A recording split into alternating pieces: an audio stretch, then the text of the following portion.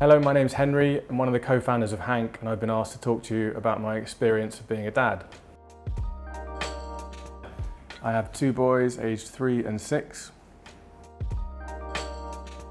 Um, for me, uh, trying to multitask with, parenting and work is uh, at the same time usually makes me frustrated and often impatient with my kids. And obviously something I want to try and avoid. Um, and it's best for me to try and focus on one thing or the other and to be as present as possible with them when I'm with them.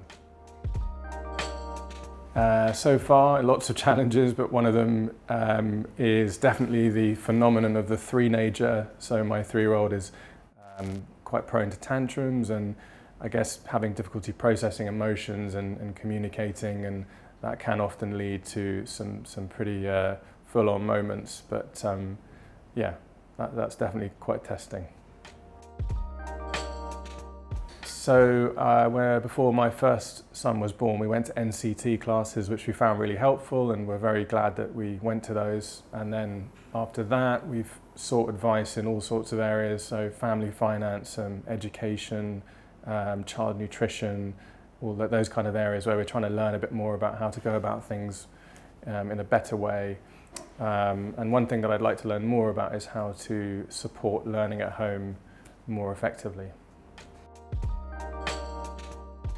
One of the most challenging aspects of being a dad is, has been for me, is just dividing my time up between, for myself, um, for me and my wife, and then also with my children, and kind of giving each of those very important aspects of my life the time that they deserve. Uh, lots of rewarding moments with my boys, but I think one that I've really enjoyed watching is the bond between them um, kind of grow over time and seeing how well they get on and just, uh, yeah, it's been really amazing to watch.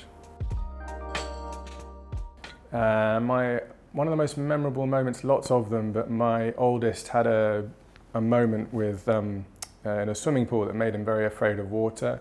Um, watching him overcome that fear and then learning how to swim after a few lessons and seeing that all come together was, was a, a very proud and, and memorable moment. Uh, one of the more funny things, again, lots of funny things happen on a regular basis, is watching my youngest um, walk up to me with a bottle of gin that he'd taken off the sideboard and hand it to me and say, Daddy, here's your water. Um, and uh, that was very funny. Obviously now all alcohol is very much locked away in the house.